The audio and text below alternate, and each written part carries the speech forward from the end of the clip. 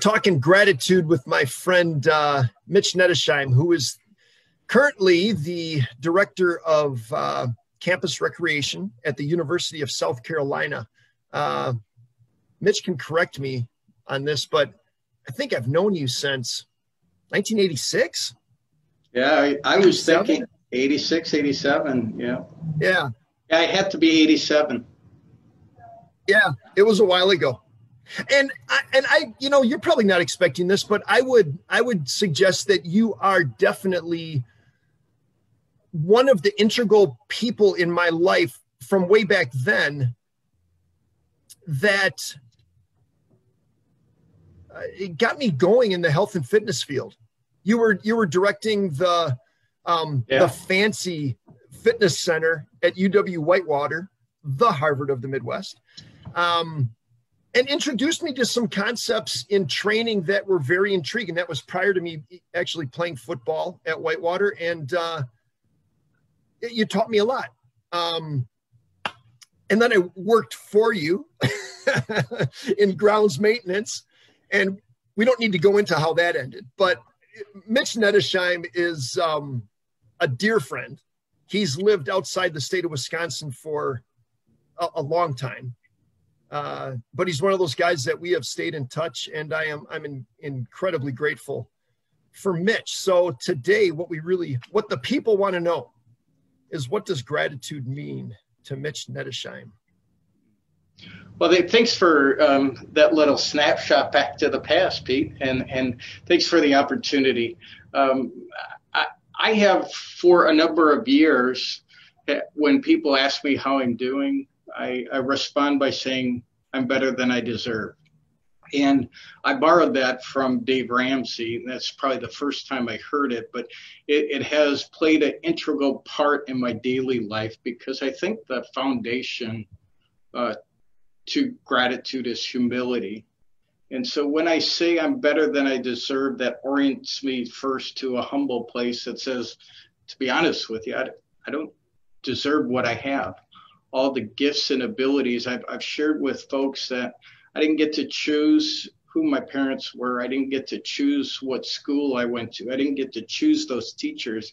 Um, I didn't get to choose the coaches I had, and all of those life experiences are, are, who shaped, are what shaped me, along with the gifts and abilities that when the sperm hit the egg, I am who I am, right? And and and so I, I had this foundation that I had nothing to do with, and and so it's just a it's a good place to start.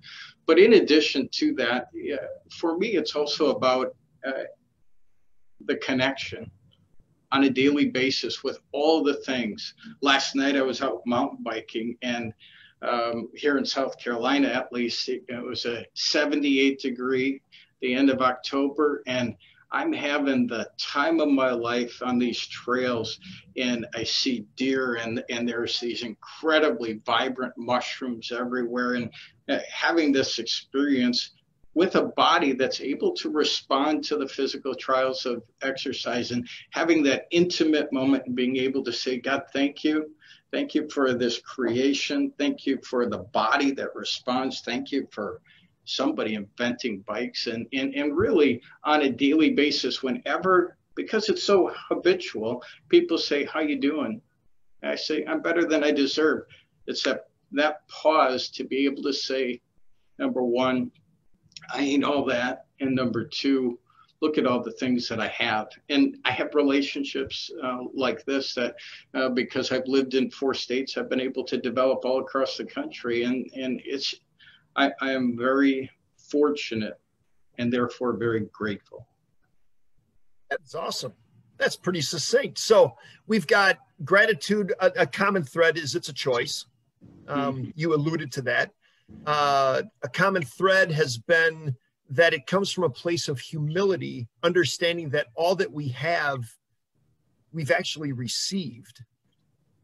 Uh, and then my bias is you are set up for a more grateful life. All of us are. If you take care of the body that you've got, and there's just so you can have a great life, but if it's a great life plus great physical fitness, to hike, to mountain bike, to do whatever you want to do. It just it's it's a great life plus, and you're grateful for that. Amen. Yeah. So I, I ask the question of the young staff that work for me all the time how can you add value to the organization right that that intentional discipline every day of asking yourself how can i be contributing and and to your point uh, the discipline of taking care of your body at, at 58 i can go out there and have a scream riot good time on a mountain bike and there are a lot of folks I know that are my age that can't, and and so I, I I'm able to take that level of appreciation and gratitude to a different level because I'm able to experience more, whether it's behind uh, the paddle of my kayak, whether it's on my mountain bike, whether it's hiking or biking with a family member, whatever. Yeah. Uh, but then I think the other thing that you you uh, brought my mind to, and it, it's almost embarrassing that I didn't say it already, but it's it's real. Is that I, I do I am a gift, right? I, all of my life is a gift. I, have got not only the physical and mental abilities, but I also grew up in a place in a time where I was able to be exposed to uh, the power of the word and, and be able to have a relationship uh, with God and be able to add another uh, layer of gratitude. And that is that I, I've got eternal life.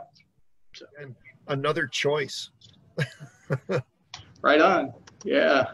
Good stuff. Thank you for sharing all that, Mitch. Yeah. Pete, thank you. And thanks for all the work you're doing in Milwaukee. Yeah, my pleasure.